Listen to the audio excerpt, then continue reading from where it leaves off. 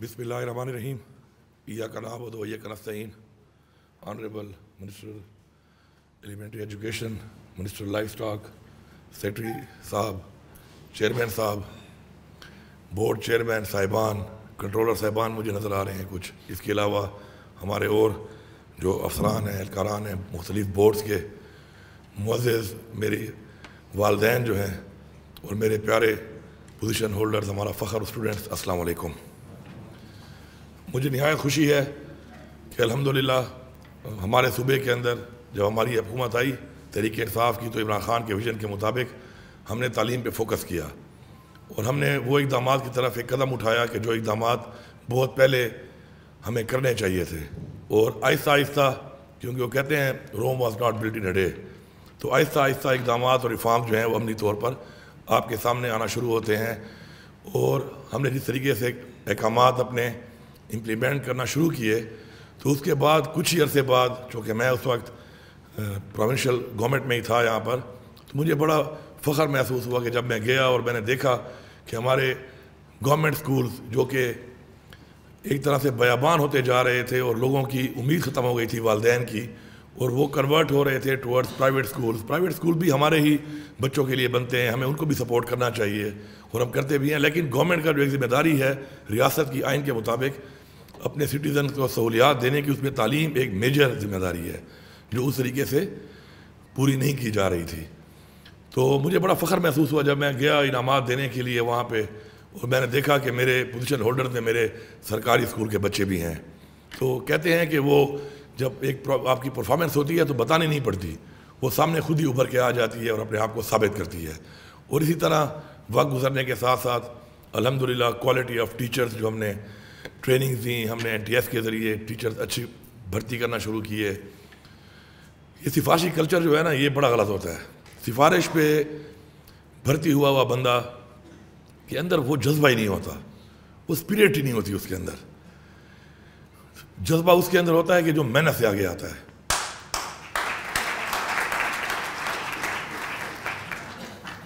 تو الحمدللہ quality teachers ساتھ ساتھ آتے گئے۔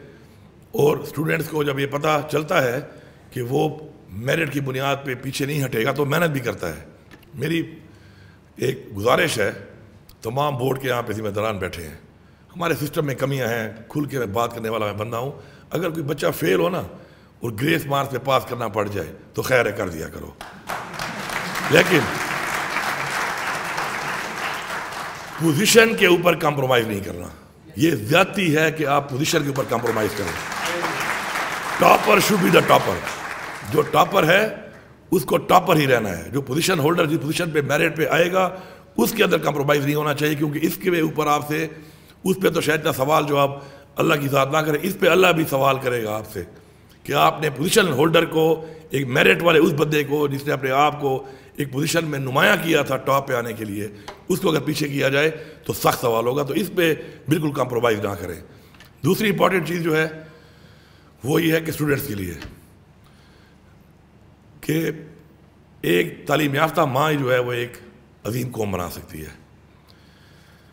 اور ہماری بچیاں ماشاء اللہ پوزیشن ہولڈرز ابھی زیادہ میں دیکھ رہا ہوں، وہ اس لیے ہوتی ہیں کہ میرے ذاتی جو میرا ایک انالیسس ہے وہ یہ ہے کہ بچیوں کو اگر وہ محنت نہ کریں اور وہ پوزیشن نہ لیں اچھی، تو ماں باپ ان کی تعلیم چھڑوا دیتے ہیں انویسٹ نہیں کرتے ان کے اوپر۔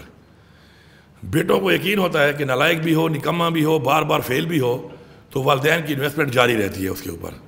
تو اس لیے وہ شاید تعلیم سے تھوڑا سا اسے پتہ ہے کہ مجھے کم از کم نکالیں گے نہیں۔ تو بچیاں اسی زیادہ محنت کرتی ہیں اور یہ ہمارے معاشرے میں بہت بڑی کمزوری ہے۔ بچیوں پہ انویسٹ کریں۔ کیونکہ ایک تعلیم یافتہ ماں جب ہوتی ہے تو وہ تعلیم کے ساتھ ساتھ اس کے علاوہ جو تربیت دیتی ہے بچے کو، وہی عظیم قوم بنا سکتی ہے۔ کیونکہ والد کی اپنی ذمہ داریاں ہیں، والدہ کی اپنی ذمہ داریاں ہیں۔ جو ٹائم سپین بچہ گزارتا ہے والدہ کے ساتھ اور والدہ کے ساتھ جو اس کا ایک رشتہ پیدا ہوتا ہے، وہ نو مہینے پیٹ پہ رہنے کے ٹائم سے شروع ہونا شروع ہوتا ہے۔ تو ایک اٹیچمنٹ ہے، وہ جو ابزار بچہ ایک ماں سے کرتا ہے، باپ سے نہیں کر سکتا۔ تو ہم نے بچیوں پہ انویسٹ کرنا ہے۔ اور میں اسٹوڈنٹ سے یہ کہوں گا کہ والدین کی بہت قدر کریں۔ کیونکہ آپ کو یہ اندازہ تب ہوگا والدین کی قدر کا جب آپ والدین بنیں گے، جب آپ کو اپنے بچوں کو گروم کرنا پڑے گا، پڑھانا پڑے گا اسکول بھیجنے کے لیے اپنی خواہشات کو ختم کر کے آپ کو کوئی کمی محسوس نہ ہو، محرومی محسوس نہ ہو، اپنے آپ کی خواہشات ختم کر کے آپ پہ جب آپ اپنے بچوں پہ یہ انویسٹمنٹ کریں گے تو آپ کو اندازہ ہوگا کہ آپ کے والدین کتنے عظیم تھے اور کس طریقے سے آپ کے لیے سب کچھ کر رہے تھے۔ دوسری بات، ہمیشہ آگے وہ شخص بڑھتا ہے جو کسی اور کی ترقی پر اور کامیابی پہ خوش ہوتا ہے۔ یہ مائنڈ بنا لیں۔ اگر آپ کا کوئی فیلو اسٹوڈنٹ بہتر ہے اور وہ بہتر محنت کر رہا ہے اور کام کر رہا ہے، آپ خوش ہوں اس کے اوپر۔ کینہ جو ہے نا حسد، قرآن میں بھی آیا ہے کہ حسد اللہ تعالیٰ کو پسند نہیں ہے۔ یہ بڑی خطرناک چیز ہے۔ وہ آپ کو آگے نہیں بڑھنے دیتی۔ آپ کے حسد سے کسی اور کو نقصان نہیں پڑنا۔ لیکن آپ آگے نہیں بڑھ سکیں گے۔ یہ نقصان آپ کو ہی دے رہا ہوتا ہے یہ۔ تو اس لیے ان کی اچھی چیزوں کو دیکھ کر، ان سے کمپیٹ کرنے کے لیے ان سے سیکھ کر ان کی چیزوں کو آپٹ کر کے آگے بڑھنا ہے آپ نے لیک بلی نہیں کرنی، حسد نہیں کرنا۔ تو آپ یقیناً کامیاب ہی ہوں گے پھر۔ اور ایک استاد تو آپ کا ایک ہے جو آپ کو یہ تعلیم دیتا ہے۔ اس کے علاوہ بھی کوئی بھی شخص اگر اس وقت کسی بھی فیلڈ میں کام کر رہا ہے اور آپ سے انٹریکٹ کر رہا ہے، تو اس سے بھی آپ بہت کچھ سیکھ سکتے ہیں۔ وہ بھی آپ کا ایک استاد ہی ہے۔ ہر شخص سے سیکھنے کی کوشش کریں۔ آپ کا جو مرحلہ ہے، سیکھنے کا مرحلہ، یہ اسی وقت بہترین ہوگا کہ آپ ہر سیکٹر کے اندر ہر چیز میں سے کچھ نہ کچھ سیکھنے کی عادت بنائیں گے۔ اور جب سیکھنے کی عادت آپ بنا لیں گے تو آپ کے اندر ایک صلاحیت پیدا ہو جائے گی، کوئی بھی چیز جو بہتر ہوگی وہ آپ کے مائنڈ کے اندر آ کے اس کو آپٹ کرے گی اور پھر امپلیمنٹ کرنے کے لیے آپ کو بڑی آسانی ہوگی اس میں۔ تو انشاءاللہ مجھے یقین ہے جس طریقے سے ہماری قوم کوئی وجوہات کی بنا پر اتنی آگے نہیں بڑھ سکی تو اس کی وجہ یہ تھی کہ ہمارے جو لوگ اوپر آئے، شاید ان لوگوں کی اس طرح گرومنگ نہیں کی گئی تھی۔ ان کے اندر وہ محب الوطنی نہیں پیدا ہو سکی جو پیدا ہونی چاہیے تھی۔ اس میں قصروار ہم کس کو ٹھہرائیں گے؟ اپنے آپ کو۔ کسی اور کو نہیں۔ ہمارے معاشرے میں ہم ہی سے لوگ ہیں۔ ٹیچر بھی ہمارے اندر سے ہے، پولیٹیشین بھی ہمارے اندر سے ہے، اسٹوڈنٹ بھی ہمارے اندر سے ہی ہے۔ ہم کسی اور چیزوں میں تو بعض کسی بیرونی قوتوں پہ الزام لگا سکتے ہیں، لیکن ان چیزوں کے اوپر ہم کسی پہ الزام نہیں لگا سکتے۔ یہ ہمارے اندر سے ہی ہیں، ہم لوگ ہی ہیں اور ہمارے اندر سے یہ سب کچھ ہو رہا ہے۔ تو اپنے اندر کو ہم نے بہتر کرنا ہے۔ اور جس دن ہم نے اپنے آپ کو شروعات کر کے بہتر کر لیا، تو انشاءاللہ چیزیں بہت بہتری طرف جا سکتی ہیں۔ میں اس سال جب میں بنا چیف منسٹر، تو میں نے جب دیکھا تو سرکاری اسکولوں کی جو ہماری بلڈنگ شروع ہوتی ہیں اور ہمارا جو ایک فائنینشیل کرنچ بھی ہے، پورے پاکستان میں، صوبے کا بھی ہے۔ اور میں چونکہ خود بھی دو ہزار تیرہ سے خود اسمبلی میں آ رہا ہوں، تو یہ اسکول ہم بناتے ہیں۔ میں نے ہائر سیکنڈری اسکول کچھ منظور کرائے، وہ ابھی تک نہیں بنے۔ دو ہزار چودہ کے اسکول ابھی تک کمپلیٹ نہیں ہو پا رہے، کیونکہ وہ تھوڑے تھوڑے پیسے ملتے ہیں اور بلڈنگ بنتی رہی ہے۔ تو جب میں چیف منسٹر بنا تو میں نے ان کو پہلی میٹنگ میں بولا، میں نے کہا، یار، وہ بچیاں جن کو میں چاہتا تھا کہ وہ ہائر سیکنڈری اسکول جائیں اپنے گاؤں میں، تو وہ تو مائیں بن چکی ہیں۔ اور اتنا ٹائم لگ رہا ہے تو شاید مائیں بننے کے بعد نانیاں ہی نہ بن جائیں، اتنا سلو پروسیس ہے ہمارا بلڈنگ بنانے کا۔ تو یہ پالیسی میں نے اس لیے دی ہے کہ رینٹڈ بلڈنگ کی طرف ہمیں زیادہ فوکس کرنا چاہیے۔ کیونکہ پہلے والے ہمارے جو اسکول شروع ہیں، پہلے ہم ان کو مکا لیں بجائے اس کے کہ میں پھر ایک دو سو اسکول نئے بنانے کے لیے دے دوں۔ اور رینٹڈ میں یہ ہے کہ کہیں پر بھی اگر تعلیم کی کمی ہے، تو ادھر آپ رینٹ کے اوپر فوراً سے پہلے، کیونکہ مقصد تعلیم دینا ہے۔ اسکول کی بلڈنگ سے تعلیم نہیں ہے۔ تعلیم ہے آپ کی استاد سے، اساتذہ سے۔ تو اس میں آپ رینٹڈ بلڈنگ میں فوراً شروع کریں اپروو کریں جہاں پہ اسکول کی ضرورت ہے اپ گریڈیشن ہے۔ اگر بلڈنگ بنانے میں ٹائم لگتا ہے بلڈنگ انشاءاللہ پیسے آئیں گے، ہم بنا لیں گے، لیکن تعلیم کے اندر گیپ نہیں آنا چاہیے۔ اور رینٹڈ بلڈنگ میں آپ فوراً اسکول شروع کر کے سازہ دے کر آپ ان بچوں، بچیوں کو تعلیم دینا شروع کریں۔ تو ہمارے اسکولز ہیں۔ میری اس فورم سے تمام لوگوں سے یہ میں یہاں پہ بتا رہا ہوں تمام اس عوام کو کہ جہاں پہ اسکولز کی ضرورت ہے اور کمی ہے اور ظاہری بات ہے ڈپارٹمنٹ تو آلریڈی کام کر رہا ہے۔ کہ آپ جلدی ان کو آئیڈینٹیفائی کریں ان جگہوں کو تاکہ ہم وہاں پہ رینٹ والی بلڈنگ کہیں سے آپ ارینج کریں، سرکار رینٹ بھی دے گی، آپ کو ٹیچر بھی پرووائڈ کرے گی، آپ کو نوٹ بک بھی پرووائڈ کرے گی سلیبس بھی پرووائڈ کرے گی اور تمام چیزیں پرووائڈ کرے تاکہ جلدی اور یہ گیپ جو میں نے فیل کیا ہے اپنے اس ٹائم میں، وہ گیپ میں نے فل کرنے کے لیے پالیسی دی کہ رینٹڈ کے اوپر جلد از جلد یہ ہو جائے اور نان اے ڈی پی میں بھی ہمارے بہت سے اسکول ہو سکتے ہیں۔ اس کے لیے میری گزارش ہوگی کہ جلد سے جلد آپ نان اے ڈی پی والی اسکیم کے اندر جو اسکول آلریڈی ہمارے پاس اسٹرکچر موجود ہیں اور صرف ہم نے ان کو اپ گریڈ ہی کرنا ہے، ان کو آپ اپنی ایگزسٹنگ بلڈنگ سے اپ گریڈ کر سکتے ہیں۔ اپنی بلڈنگز میں، اور وہ بہت زیادہ ہیں۔ جب میں نے اپنے ڈی خان کا انالیسس کیا تو چالیس اسکول ایسے تھے کہ مجھے بلانے کی ضرورت ہی نہیں تھی ان کو۔ میری ڈی اوز نے وہاں پہ جا کے جب دیکھا تو جو ریکوائرمنٹ تھی آپ کی پرائمری ٹو مڈل یا مڈل ٹو ہائی یا ہائی ٹو ہائر سیکنڈری اس کے لیے وہاں پہ کمرے ماشاء اللہ موجود تھے۔ تو اس پہ زیادہ فوکس کریں۔ ہم نے ایک تعلیم یافتہ معاشرہ جو ہے، وہ ہم نے پیدا کرنا ہے۔ کیونکہ تعلیم ایک وہ چیز ہے جس کا کوئی آلٹرنیٹ نہیں ہے۔ کوئی آلٹرنیٹ نہیں ہے اس کا۔ تجربہ آپ لے سکتے ہیں۔ کوئی بھی کام میں آپ فیلڈ میں چلے جائیں، تجربہ آپ کو مل جائے گا۔ لیکن تعلیم جو ہے، وہ آپ کو بالکل کسی بھی طرح سے نہیں مل سکتی۔ آپ کو اس کے لیے اس نوٹ بک سے، اس سلیبس سے، اس پروسیس سے گزرنا پڑے گا۔